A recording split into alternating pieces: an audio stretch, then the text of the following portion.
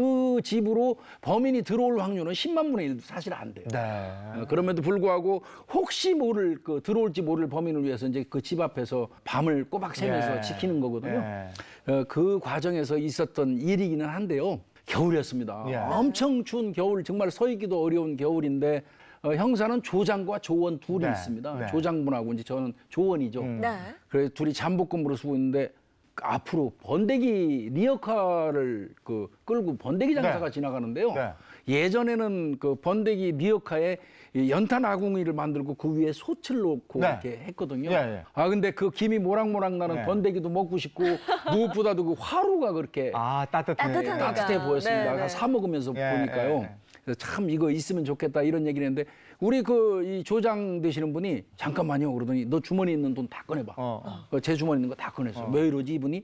또 본인 거를 꺼내더니 네, 조금 있더니 이 리어커 그 끌고 저쪽으로 가자 그래요. 아. 그리고 그분은 돈을 받더니 이제 그 다른 데로 가시고 예, 예. 아 이거 어떻게 된 겁니까 그랬더니 야 이거 내일 아침까지 빌렸다. 아. 예, 추우니까 우리가 이그 번데기 리어카 가지고 있으면서 요 번데기 장사하면 장사, 되죠. 하는 것처럼 하면서 잠복하면 아, 모르지 않겠느냐. 위장 잠복. 예, 어, 어. 좋더라고요. 예.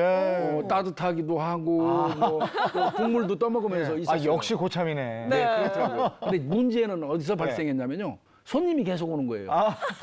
손님이 계속 오는데 제가 뭐 이게 10원어치인지 20원어치인지 어, 모르죠. 못하니까 예, 예, 예. 신문지로 만들어 놓은 그 예, 봉투 예, 맞아요, 맞아요. 고깔 형태 예, 예, 예. 거기 그냥 되는 대로 막 퍼줬어요. 어, 어, 어. 아마 많이 줬던 모양입니다. 어. 네. 손님이 엄청 많이 오는 거예요.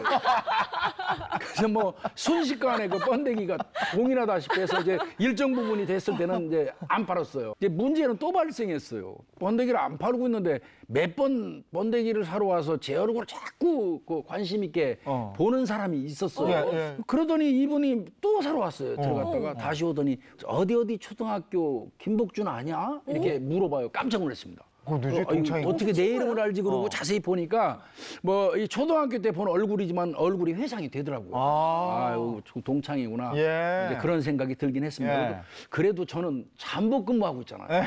잠복 근무라는 건 말 그대로 신분을 숨기고 위장하고 네. 어, 잠복을 하는 사람이 아나 예. 그래 맞아 네 동창 어. 이렇게 말할 순 없잖아요. 네. 끝까지 아니라고 그랬죠. 예. 이 사람이 몇 번을 들락날락하면서 계속 물어봐요. 진짜 아니야?